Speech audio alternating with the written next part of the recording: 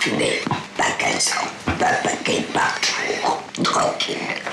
J'ai rien pu dire. Mais ça crie trois ans. Cancer de la gorge, ablation du larynx. Plus de corps vocale. Aujourd'hui, j'utilise mon œsophage pour l'exprimer.